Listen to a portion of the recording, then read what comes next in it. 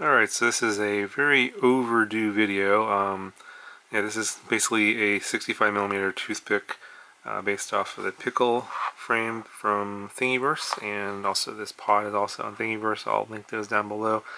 But uh, the, I guess the trend in toothpicks these days is going uh, up to 3 inch now, so this is kind of outdated, but I had a really hard time getting this tuned on 4.0 just would not fly right on 4.0 and I did a lot of tweaking and stuff to this um, which is why you haven't seen this video but uh, now the 4.1 is out I went and put 4.1 on here and now it flies somewhat normally on the default PIDs. I think I could probably raise the PIDs a little bit.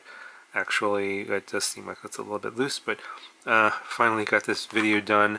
And um, yeah uh, nothing too special about this one.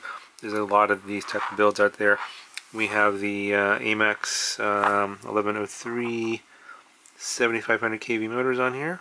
A lot of toothpick builds are based on this motor. Got the HQ uh, 65mm T-prop. I'm using the Nameless RC all-in-one board.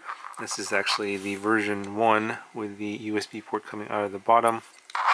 And let's see, the video transmitter here is the EUC Nano video transmitter.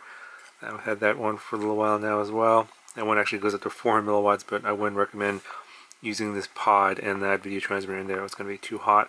I'm just running it on 25 milliwatts. And I'm running the RunCam Nano 2 the, with the 1.8 millimeter lens, and this one's a pretty wide field of view. And also this this little TPU port down the bottom here holds the battery is my own custom part. If uh, you're interested in getting that, let me know. It's just basically it's a twist on think that when you get, when you go to the link to the frame, uh, it'll have a part it's a little bit different. Um, I just printed it flat, so I just altered the, the, design so it would print flat. So it just sits down like that, and then you just pull up like this, and the battery just slide the battery in. And on the battery I'm using is a 2S GNB 520. And it's pretty good on that.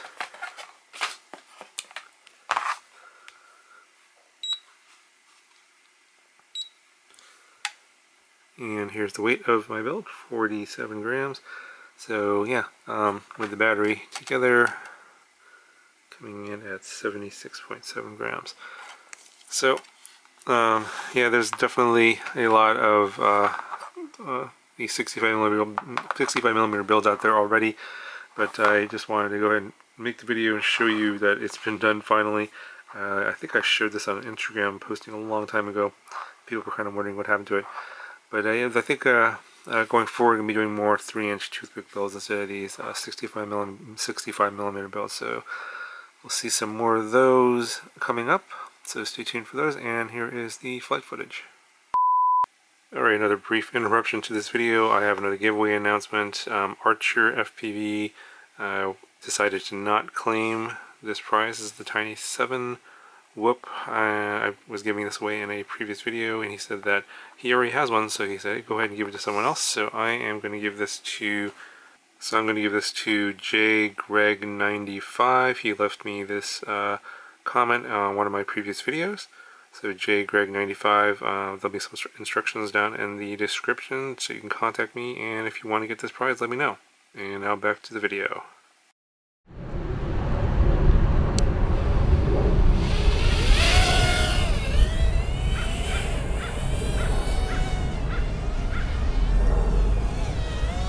So this guy was really difficult to tune on 4-0. On, on 4-1 here, it already looks a lot better than it was before. Let's see how the uh, rolls are a little bit, yeah, some bounce back there. But before, unfortunately I think I lost that video file. I was getting massive oscillations. It was so shaky I couldn't even fly it.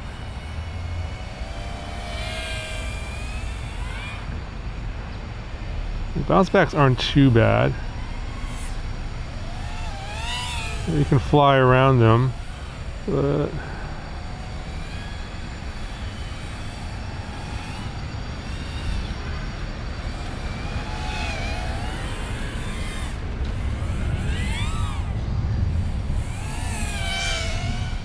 Finally got this guy in the air. It's been months.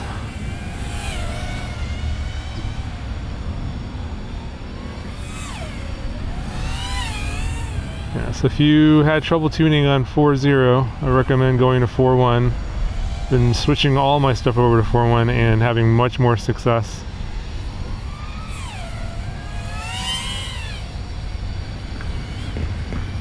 Yeah, this is way better than it was before. Totally flyable.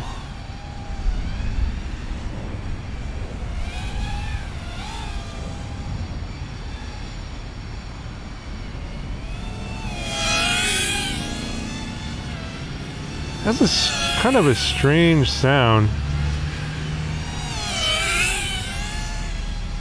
I mean, it is, it does sound like those props, but there's something else, some kind of other harmonic going on there. I'm not sure what that is.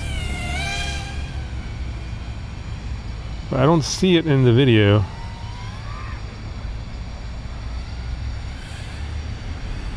Yeah, I'm just getting a little bit of bounce backs. see. Yeah, it's on the it's on the roll axis. Let's see here.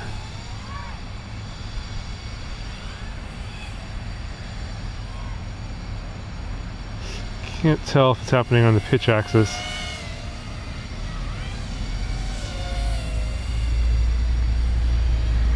Let's see. Yeah, getting bounce backs on the pitch and roll axis. So probably just means I need to increase D. D min's probably too low.